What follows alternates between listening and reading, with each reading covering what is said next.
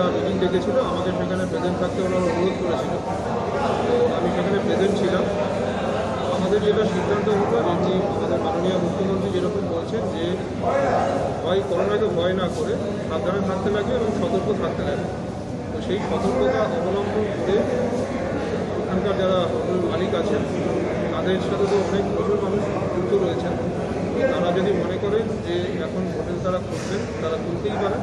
তবে আমাদের যে সরকারি গাইডলাইন যেগুলো করা রয়েছে সেগুলো অবশ্যই ফলো করতে হবে যদি কেউ করোনা এফেক্টেড এখানে ধরা পড়ে তার ক্ষেত্রে সরকারিভাবে কী কী নিয়মকানুন চালু করা হচ্ছে? এখানে এসে ধরা পড়বে এরকম তো যে এখানে এসে টেস্ট করলেও সেরকম তো হবে না এখানে যদি কারও যেটা আমরা বললাম যদি কারোর অসুস্থতা কেউ বোধ করেন তাহলে সাথে সাথে আমাদেরকে খবর দিতে আমাদেরকে মানে প্রশাসনকে যেমন সাথে সাথে খবর দেন আমরা যদি এরকমই কোনো খবর পাই, কেউ জ্বর হয়েছে বা সর্দি কাশি হয়েছে, তাকে আমরা সাথে সাথে অ্যাম্বুলেন্সে করে আমাদের যে করোনা সেন্টার আছে, সেখানে পাঠানো সরকারিভাবে কোনো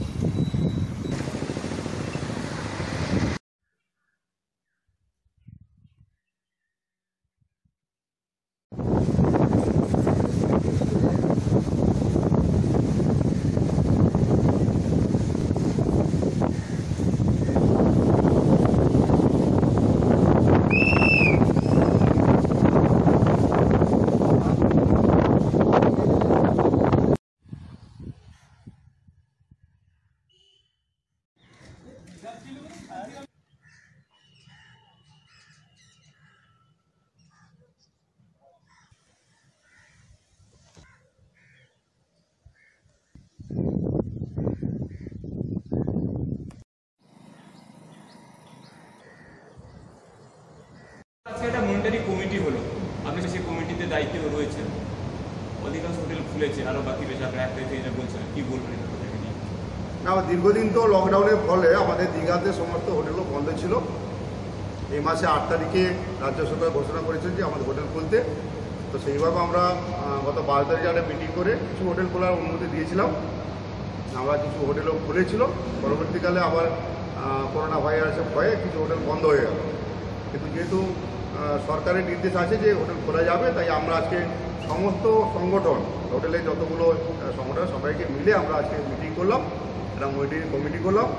আগামী এক তারিখ থেকে সমস্ত হোটেল খোলার জন্য আমরা প্রস্তুতি নিয়েছি, সবাই তৈরি হয়ে যাচ্ছেন আগামী এক তারিখ থেকে, পয়লা জুলাই থেকে সমস্ত হোটেল খোলা আছে এবং আমাদের মধ্যে উপস্থিত ছিলেন আমাদের ডিএডিএর এক্সিকিউটিভ অফিসার থানা থানাগুলির আধিকারিক আধিকারিক ছিলেন, তারাও আহ, সঙ্গে ছিলেন।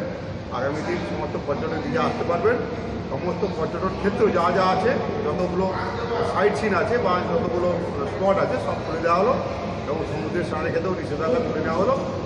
আগামী এক তারিখ থেকে চলবে হোটেলগুলো এবং প্রপার স্যানিটাইজেশন এবং সরকারি যা গভর্নমেন্টের যা গাইডলাইন আছে সমস্ত মেনে আমরা তো হোটেলগুলো চালু করছি।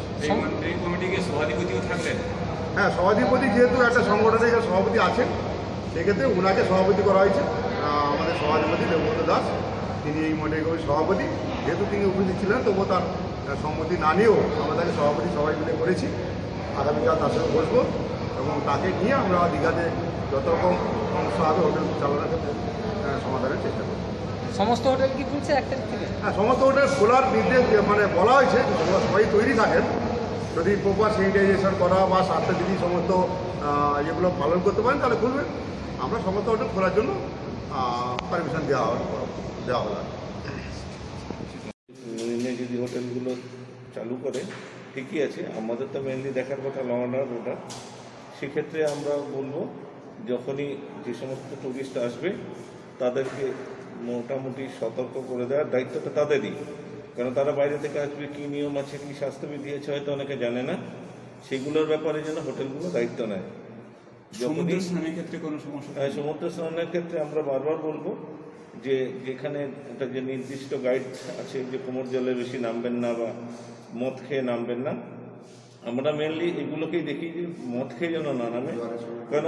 জোয়ারের সময় বা মদ খেয়ে নামলে কোনো কিছু দুর্ঘটনা ঘটে সবটাই কিন্তু পুলিশের কাছে পুলিশের দায় এসে যায়। আমরা ওই জন্যই বলব যখনই হোটেল থেকে বেরোবে স্নানের সময় হোটেলগুলো যেন দায়িত্ব নেয়। এই ব্যাপারগুলো একটু দেখবে এবং সতর্কীকরণ করবে। মদ খাচ্ছে ঠিক আছে সেটা হোটেলে খাবে এখানে কিন্তু সি বিচে যেন কোনো মতেই ওটা খাবে না। কেন? ওখানে অনেক বাচ্চা বাচ্চাও আসে তাদের কি ধারণা হবে? হ্যাঁ প্রকাশ্যে তো এখানে চলে এটা চলে না। সে ব্যাপারে একটু সতর্ক করতে হবে কোনো পিকনিকের ব্যবস্থা থাকছে না পিকনিকের ক্ষেত্রে আমরা কোনো এই মুহূর্তে আমাদের কাছে কোনো অর্ডার আসেনি চালু থাকার কেন সেই একই ব্যাপার সুরক্ষা বিধির একটা ব্যাপার রয়েছে। একসাথে এক জায়গায় গ্যাঞ্জাম হবে, সেক্ষেত্রে হয়তো সেই নিয়মগুলো মানবে না, মানতে পারবে না। সেক্ষেত্রে আমাদের কাছে এখনও কোনো অর্ডার আসেনি যে পিকনিক হবে বা করতে পারবে, সেরকম কিছু আমাদের কাছে নির্দেশ নেই।